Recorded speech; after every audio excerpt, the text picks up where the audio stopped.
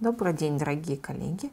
Сегодня на примере удаления корня зуба и одномоментной имплантации мы рассмотрим пример использования остужемещающих материалов леопласт аллогенного происхождения. Клиническая ситуация, смоделированная на биологической модели.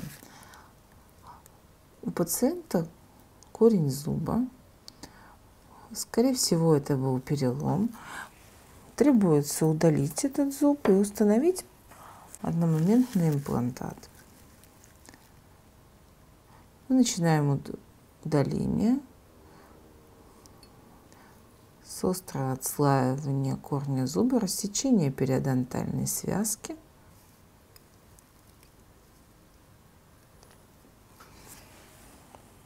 После рассечения периодонтальных волокон при помощи пьезоэлектрического аппарата мы производим более глубокое отслаивание тканей в области корня зуба удаляемого, соблюдая принципы атравматичного удаления.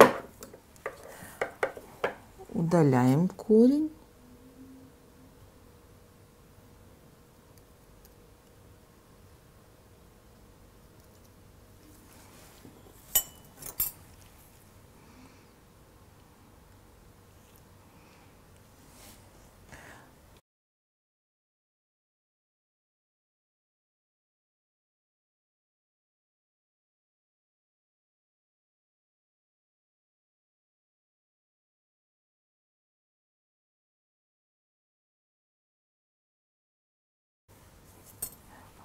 Выполняем кюретаж лунки тщательный.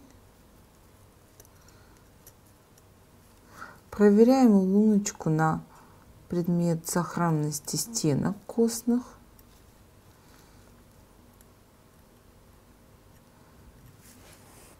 Начинаем препарирование переимплантного ложа.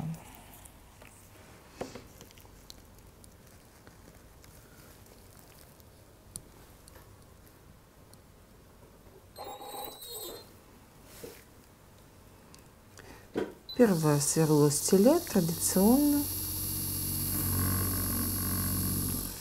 Препарируем ложе. Задаем направление.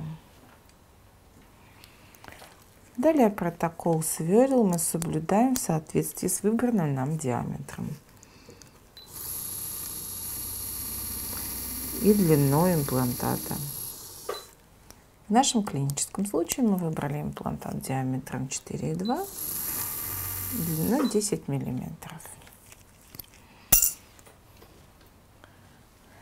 Соответственно, если стенки лунки целостны и нет костного дефекта, то мы соблюдаем протокол классический для установки агрессивных имплантатов.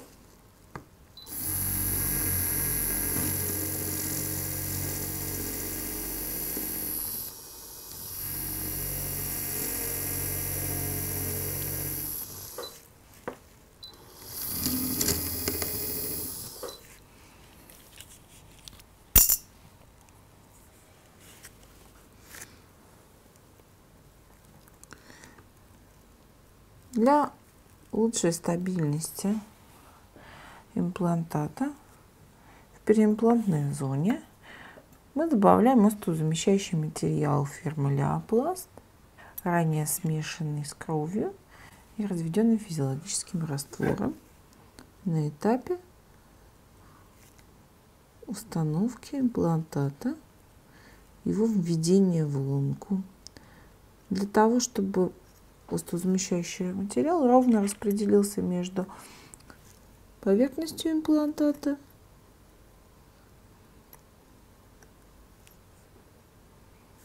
и краями лунки.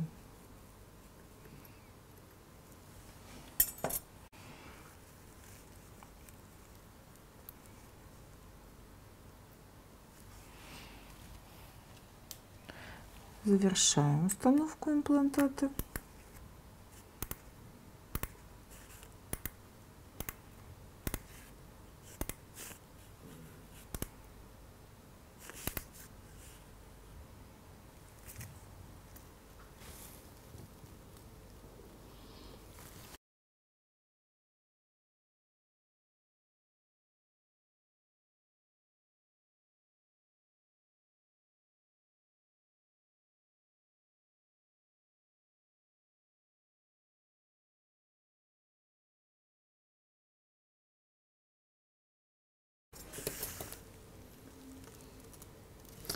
Если имплантат стабилен, вы можете сразу поставить формирователь десны или временный абатмент, если предполагается немедленная нагрузка, и ушить в области формирователя десневой манжеты мягкие ткани, не перемещая их для того, чтобы закрыть герметично лунку.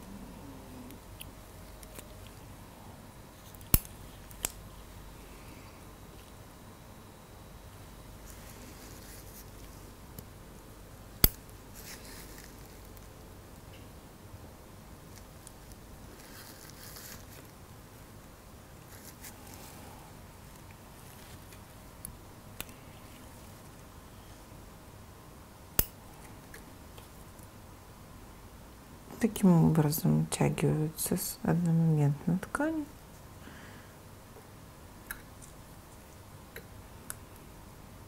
формируется правильная десневая манжета в области имплантата.